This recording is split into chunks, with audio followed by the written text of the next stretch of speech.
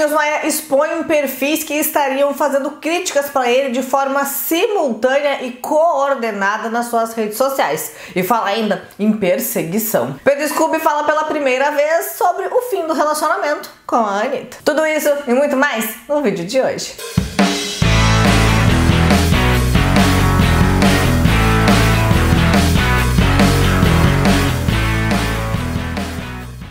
Oi pessoal, tudo bem? Meu nome é Juliana Nogueira e esse é o canal Eu Já Contei. Hoje mais um vídeo com as últimas novidades da internet pra você. É treta, é polêmica, é assunto, é notícia. Viralizou nas redes sociais, vai tá aqui no Já Contei. Aqui é onde eu te explico sempre tudo tintim por tintim de todas as polêmicas da internet. Tá perdido? Viu no Instagram? Não entendeu nada? Corre aqui pro YouTube, corre aqui pro Já Contei, que eu vou te explicar sempre todas as histórias que são assunto na internet. E ontem eu revelei aqui no Já Contei que Matheus Massafera tinha perdido 5 milhões de views no seu canal no YouTube. Ele nos stories explicou o porquê dessa história. A gente queria saber e ele explicou. Olha só. Gente, para quem tá me perguntando se esse vídeo desencalhando eu soltei de novo, eu soltei ele de novo porque acontece o seguinte: o YouTube tá com uma nova regra. Antigamente você poderia colocar uma música no vídeo até 15 segundos, hoje em dia você não pode mais. Ele desmonetiza, isso nem é o problema principal. O problema principal é que ele é bloqueado em alguns países. Então, esse vídeo desencalhando, eu tava com 5 milhões e pouco, quase 6 milhões de views, só que ele bloqueou em alguns países. Eu tenho vários vídeos que estão sendo bloqueados. Todos os youtubers têm, porque antigamente a gente usava 15 segundos de música em alguma parte do, do vídeo. Agora não pode mais. Então eu peguei, eu tô pegando esses vídeos que estavam bloqueados, tô tirando ele do meu canal, reeditando sem a partezinha da música e soltando ele de novo. Então é por isso que eu soltei o vídeo de novo, vou estar tá soltando aí alguns que estão bloqueados. É isso, eu perdi 5 milhões e poucos de 5 milhões e poucos de visualizações nesse vídeo, mas não tem importância que ele sobe de novo. E vou soltar alguns vídeos então que eu estou reeditando com essa nova lei do YouTube final agora de setembro acontece a Semana de Moda em Milão. E nos dias 21, 22 e 23, Tamires Nascimento e Carla Beatriz estarão no projeto que é apoiado pelo Booking, onde elas vão desvendar os bastidores da Semana de Moda de Milão. Elas vão ter acesso ao backstage das principais grifes que desfilam nessa moda e vão mostrar tudo o que acontece por lá, com experiências únicas e inesquecíveis. Eu fiquei sabendo também que vai ter um happy hour, uns restaurantes incríveis e que estará imperdível. O Já Contei é o canal oficial que vai falar sobre esse projeto que promete movimentar as redes sociais. Tudo sobre isso você vai encontrar aqui no Já Contei. Então já se inscreve e mais do que isso, acessa o link do projeto no Instagram que vai estar aqui na descrição e também o Instagram das meninas que com certeza vão dar muito close por lá. Chiquérrimo. Então, teve um assunto que movimentou as redes sociais no final de semana, que foi o quê? O fim do namoro de Pedro Scooby e Anitta. Saiu vários motivos aí do porquê eles tinham terminado, não sei o quê, e o Extra também fez uma notícia sobre esse assunto. E por lá eles falaram qual poderia ser o motivo do fim desse relacionamento. Segundo a reportagem, quando voltasse do Chile, quando fez um show no domingo, a Anitta ia se afastar por alguns dias dos holofotes para cuidar da saúde. A cantora foi diagnosticada diagnosticada com estafa e voltou a manifestar sintomas de uma depressão que já teve há alguns anos. Nas últimas semanas, ela vinha tendo crises constantes, o que foi determinante para também o término com Pedro Scooby. Anitta tinha crises, descontava no namorado, ficava pior porque se sentia culpada, tinha outra crise. A relação não estava boa para nenhum dos lados, revelou uma fonte próxima a Anitta que garante que o relacionamento chegou ao fim e não se trata de um tempo, como o ex-casal disse. Mas não foi só a agenda corrida e o excesso de trabalho, além das viagens que afetaram a saúde mental da Anitta. Ela passou recentemente por uma grande decepção. O motivo só os mais íntimos sabem. Pode ter sido na carreira, pelo fato de o clipe com Madonna não ter saído ou com o próprio Pedro, disse essa mesma fonte. No site oficial da Anitta, depois da apresentação do Chile, ela só tem outro show agendado para o dia 13 de setembro em São José dos Campos. Pois é, daí que até o programa da Anitta no Multishow, Anitta entrou no grupo, não vai ser exibido agora no próximo dia 3 de setembro, amanhã. No lugar será reprisado o primeiro episódio da atração que teve a banda Melim e El Chan como convidados. Em comunicado oficial, a cantora foi diagnosticada com estafa e precisa ficar em repouso. O Multishow informa que excepcionalmente nesta semana não haverá episódio inédito de Anitta entrou no grupo diagnosticada com estafa. A cantora seguirá a recomendação médica e ficará de repouso. Então, daí Luana Piovani, ex-esposa de Pedro Scooby, que fez muitas polêmicas no meio desse namoro todo, resolveu se manifestar sobre o fim e fez alguns stories meio que rindo da situação. Olha só. O babado lá do fim do troço. Sei nem o que dizer, né? Me deu a sensação. que horror. Me deu a sensação de que ele falou: Olha só, Brasil, essa semana ninguém faz cagada, não, tá? Que a vergonha dessa semana eu quero passar sozinho. Todo mundo avisado? Meu Deus do céu, que constrangimento. Bom. Então, daí que na tarde de hoje, Pedro Scooby também se manifestou e falou sobre o fim do relacionamento com a Anitta e elogiou demais a cantora. Olha só. Vocês viram a capa da Edkill? Espero que vocês gostem. É, mas melhor do que a foto da capa é a entrevista que tá dentro, que é muito legal, eu falo sobre minha vida. Então, para muita gente que às vezes tem um pré-conceito do que eu sou ou do que acham de mim, passa numa banquinha, compra a revista, aí você vai me conhecer bem melhor. Aí depois você pode vir aqui, comentar e falar o que você acha. Tá bom? Beijo. Inclusive nessa entrevista eu falo sobre coisas que eu nunca falei antes na minha vida. Então vai lá, dá uma lida. Tá bom? Ah, e tem uma outra coisa, e o fato de na capa é, da revista ter o nome da minha ex-namorada, é, isso não me afeta em nada. É, muito pelo contrário, eu tenho o maior orgulho de ter namorado aquela mulher. Chama a mulher do foi lá pelo palavrão. E, inclusive um dos seres humanos mais incríveis que eu já conheci na minha vida.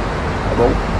E a polêmica envolvendo Carlinhos Maia ainda não acabou e eu vou te contar o desfecho dessa história. Mas antes, já clique em gostei porque isso é super importante pro canal e faz toda a diferença. Você vai entender a treta? Entendeu? Então já pega esse vídeo, compartilha, manda no WhatsApp para todos os seus amigos. Afinal de contas, treta boa é treta compartilhada. Não quer perder mais nada? Já se inscreve aqui no canal porque eu te conto todas as novidades da internet, tintim por tintim. Aqui você não perde nada. Então já se inscreve e ative as notificações para não perder nenhum lance da internet internet. Então, muito que bem. No vídeo que saiu mais cedo aqui no canal, se você não viu, acessa, o link tá aqui na descrição e é importantíssimo para você entender o início dessa história, tá? Acessa, o link tá aqui embaixo. Então, hoje, né, o Carlinhos Maia fez alguns stories falando sobre a polêmica recente que ele se envolveu. Depois desses stories, ele passou na íntegra os stories que renderam a polêmica, onde, deu, onde ele deu aquela declaração polêmica, e depois continuou falando sobre o assunto. Falou também sobre influencers, né, que, que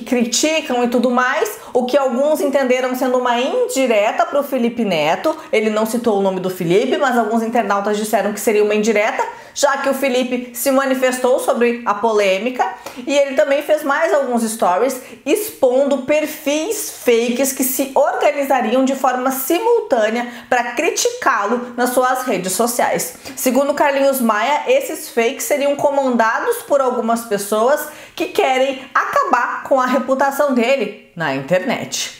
Babado. Olha só. Outra coisa importante, lembrando, não falei isso diretamente para pessoa de 16 anos nenhuma. Eu fiz uma reflexão em cima, tá? Então assim, são coisas que eu recebo e fiz uma reflexão em cima. Gente, outra coisa, ó, a maioria dos comentários que as pessoas vão na minha foto comentar me esculhambando, a maioria é fake. Passa pro lado, João. Ó. Bota pra cá. Fake, fake, fake, fake. Tudo comentam na mesma hora. Tudo comentam na mesma hora, tá? Esse negócio um grupo, reparece. É um grupo. Imbecil coletivo. Esse aqui Ó, só faz. um imbecil coletivo. Só pra esculhambar. Ó, Com coisa assim. ó, só pra me esculhambar. Volta cá, Ó, volta cá, fake, volta lá, João. fake. Volta cá. vídeo, Ó, tem vídeo seu tá vendo, ó? É Só tudo um grupo, fake, certo? Fake, Ó, fake, fake, fake, fake, Fake, Ó. negócio de, de comida. Ó, fake. é, esse- reflita. acho que esse da comida não era não, acho que esse da comida era normal. Mas olha como Deus é bom. Há umas, acho que umas duas semanas atrás eu já tinha denunciado esse grupo de perseguição. Eles vão lá, pegam um trecho do vídeo meu, colocam, isso não é a primeira vez não, é várias vezes. Quantas vezes já me viram em polêmica? E, ó, pegam um trecho do, do vídeo meu, esse mesmo grupo, tá? Colocam, repartem entre páginas menores, que eles têm um grupo, tudo organizado, e não é só comigo, não, é com outros artistas também. É, colocam entre páginas menores, criam, hack, eles têm um monte, tipo assim, tudo fake. E eles começam a comentar em ordem, é, como é que chama? É, na mesma hora, né? Na mesma hora eles começam a comentar, eles soltam as polêmicas e começam a comentar na mesma hora. Pá, pá, pá, pá, pá, pá, pá, pá, pá, e começam a soltar esse sprint e faz parecer para as outras pessoas que presta atenção para você, que não consegue, certo? Que não consegue ler a notícia por completo. É por isso que muitas vezes isso na vida também. A pessoa lhe dá um pedaço da coisa e você transforma nisso aqui grande e você acaba sendo influenciado por, por coisas que você nem, nem tá entendendo, certo? A maioria dos meus comentários na minha foto, a maioria é, começou com fake, fake, fake, fake, fake, fake, fake, fake. Tem muitos, muitos, muitos, é, em tempo real. Aí as outras pessoas que estão vendo os fakes comentarem, não vão lá abrir pra ver que a maioria é fake, começam também a, a- a- começam também a esculhambar sem nem entender, sem nem parar pra pensar, meu Deus. Ele falou isso mesmo, deixa eu buscar o que ele quis dizer, deixa eu buscar, mesmo que ele tenha usado palavras, né, que, eu- que, eu, que eu tenho esse jeito forte, ei, não sei o que, que eu sempre tive, que eu sempre usei, né, que é um, um jeito meu, é, desde o começo da minha carreira, mas óbvio, cresci bastante, conseguia as minhas coisinhas, então aí não pode mais falar desse jeito. E, e óbvio, também entendi que eu também não posso me manifestar sempre sobre todas as coisas, não, porque você tenta ajudar e. e- Bom, moral da história. É, existe um grupo de perseguição que são pagos pra derrubar. é, como é que chama que fala a carreira da pessoa? Reputação. Comigo já acontece há um tempo, quem me segue já sabe, e agora não seria diferente. Então, por favor, não acreditem, não se deixem levar por esse, por esse grupo, que eu não sei por qual motivo quer muito ver a vila cair, quer muito ver os personagens da vila cair, porque eu não entendo que é só gente que leva o sorriso, que é só gente que leva o bem, mas fiquem cientes disso. E já tem várias páginas de fofoca e site apagando, porque viram a veracidade do meu vídeo, viram que se trata realmente de um grupo fake. Ah, vou parar de falar não, eu disse que ia parar de falar não, vou, vou falar até umas horas, porque chega de tanta maldade, chega de tanta denúncia, chega de tanta gente querendo acabar com a reputação, chega de tanta gente, inclusive digitais influencers que não fazem caceta nenhuma pela, pela vida de ninguém, você vê que não dá um real do bolso pra porra nenhuma. Eu dou escondido, escondido que nada, escondido que nada. Que essas mesmas páginas que criam essas polêmicas, pegam partes das falas da gente, porque tipo assim, quer falar da gente que enterrou em alguma coisa, bota o vídeo todo, diz, ó, nessa parte, isso aqui eu não concordei, mas eles ganham dinheiro pra vocês, vocês ficarem comentando, vocês trazendo essa energia de ódio pra vida de vocês, eles empurram a polêmica pra vocês, tá? E vocês ficam lá, tá ligado como é? Então presta atenção, porque o seu comentário de ódio tá dando dinheiro a outra pessoa e você continua lascado sem ganhar um real. E ó, eu tô descendo todos os meus comentários, ó. Ó, ó o textão, ó. Ixi, pedaço de lixo, tu não serve pra nada. Ô, meu amor, só eu vou acreditar muito nisso. Abençoado do jeito que eu sou, cheio de Deus. Aí você vira pra cá, ó. Odeio, ódio, cursinho. Ódio, cursinho. Ei, macho, diga aí. Ódio, cursinho. Vira pra cá, fake. Ó, e aqui, e aqui em cima tem dizendo, vai estudar. Não se deixem levar por esse monte de perseguição fake, entendeu? Mesmo que vocês estão vendo aí influencers, é, pessoas que vocês seguem falando sobre. Então, assim, vai ver a veracidade, vai ver a pessoa, vai ver o histórico da pessoa, vai ver quem é a pessoa, o que ela já fez pelos outros, vai ver tudo, tudo sobre ela, tudo que a pessoa já falou e não se deixe levar. E aí, o que, que você acha dessa treta toda? Me conta aqui nos comentários porque eu quero muito saber. Você sabe que a gente se encontra aqui no canal todos os dias, então ative as notificações para não perder nada, hein? Você sabe que sai vídeo aqui uma ou duas vezes por dia. Então, para não se perder, ativa as notificações que daí você não perde nenhum lance mesmo, tá? Aproveita e me segue também lá no Instagram, arroba Oficial, que também aviso por lá quando tem vídeo. Eu vejo vocês no próximo vídeo aqui no canal. Até mais, tchau, tchau!